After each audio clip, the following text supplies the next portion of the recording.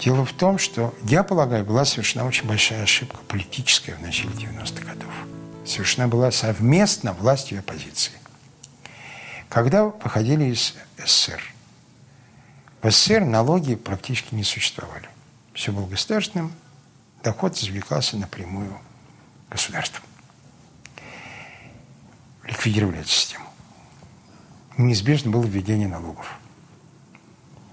Но в условиях острой политической борьбы ни одна сила не решалась сказать избирателю, что за общественное благо надо платить. Ни коммунист, ни антикоммунист, никто.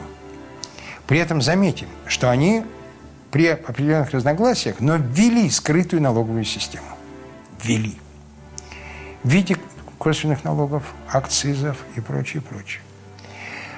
Но гражданин остался в убеждении, что все, что он получает от государства, бесплатно. Он не платит. Люди думают, что примерно так, что э, государство имеет с нефти и газа, подворовывает, конечно, но еще что-то людям дает. Ну и слава богу, дареному коню в зубы не смотрит. Все. Вот это сломало все, связанное с политической демократией. Почему? Если человек понимает, что то, что ему предлагает та или иная политическая партия, потребует затрат либо от него, либо от кого-то еще, а этот кто-то еще может не согласиться, то есть товар, там услуга, цена, он начинает применять свои рыночные знания.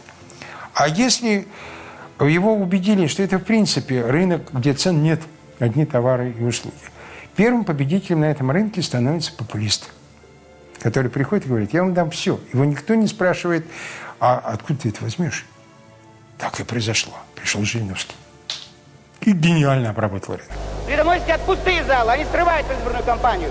В Ивановской области мне помешали, помешали встретиться с жителями города. Но когда я с ними встречаюсь, то после часа, двух часов, трех часов разговора со мной у них резко меняется мнение о всех претендентах.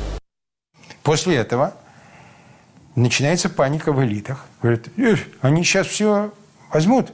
Поэтому нужно убедить людей, что лучше синиц в руке, чем журавль.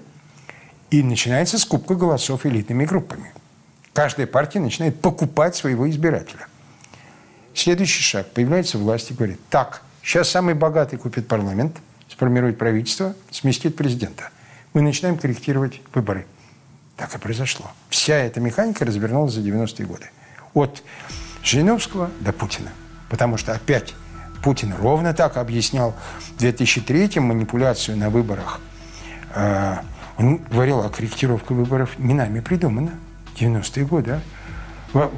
Борис Николаевич, который вы, наверное, относитесь лучше, чем ко мне и этим людям, это они начали делать. Потому что, это как же? Если криминал и богатые мешки рвутся в политику, э, они просто покупают положение. Мы вынуждены что-то с этим делать. На самом деле причина не в криминале и не, не, не, не в денежных мешках, а в том, что изначально, я полагаю, принципиальная ошибка. И если мы исправим дела с избирательной системой сейчас в России, мы все равно не через цикл придем к той же истории. Не бывает товар без цены. Налоги должны быть объявлены людям. По нашим расчетам, которые мы в 2011 году сделали.